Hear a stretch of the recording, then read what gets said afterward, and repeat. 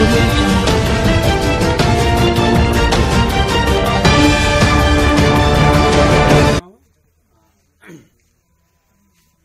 पंचायत भवन है, जिसमें लाखों रुपए का घोटाला हुआ है। परवारू राम सरोज, जो यहाँ के प्रधान हैं, वाल और बाउंड्री के नाम पे काफ़ी पैसा निकाला गया और न तो वाल बनी और ना ही कोई बाउंड्री का निर्माण हुआ है।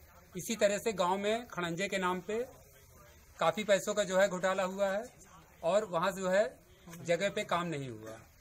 आप ये देख लीजिए आपको दिखाना चाहूँगा इस पंचायत भवन के नाम पे जो पैसा निकाला गया है बाउंड्री के नाम पे और गेट के नाम पे ना तो इधर बाउंड्री है और ना ही गेट है।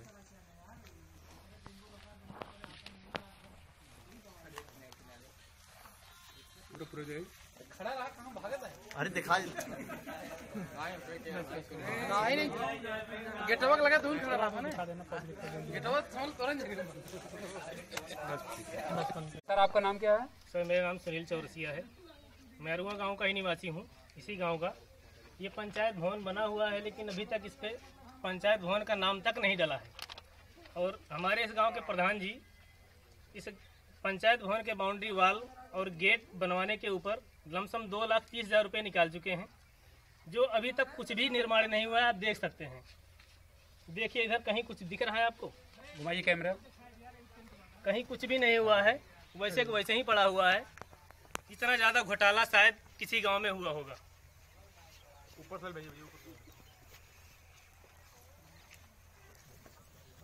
बहुत सारे खड़ंजे जो हैं बहुत पुराने हैं।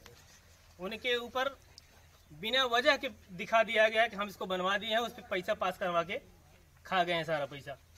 वो जो इस प्रकार है। राम जी के घर घर से सड़क तक पचास हज़ार रुपये ये फेंक है।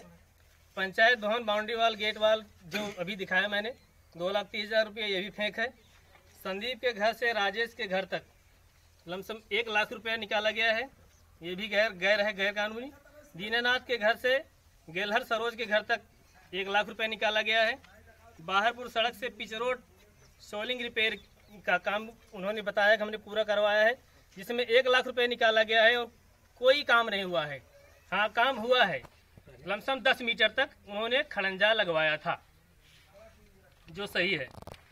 पिच रोड से राज बहादुर के चक तक सोलिंग रोड रिपेयरिंग करवाया है, जिसमें दो लाख रुपए लिया गया है। कोई काम नहीं हुआ है। राजकुमार के घर से नन्हे पंडित के घर तक नाली का निर्माण लापता है, जिसमें एक लाख रुपये वो भी निकाला गया है। ऐसे बहुत सारे खड़ंजे हैं, जो निकाला तो गया है पैसा, लेकिन बना नहीं है। वो बहुत पुराना है। अब आप लोग देखिए, हम लोग क्या कर सकते हैं। हम तो केवल आप, आपको ही जानते हैं। आपके पास आए अपनी फरियाद लेके, बाकी आप लोग देखें। धन्यवाद।